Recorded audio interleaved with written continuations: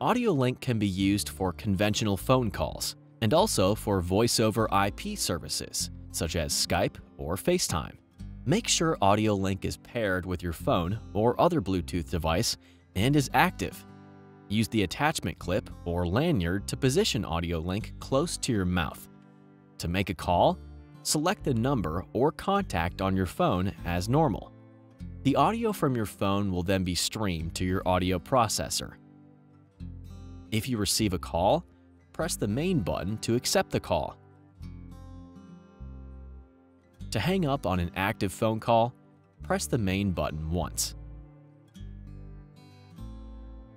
To reject a call, press and hold the main button for 2 seconds.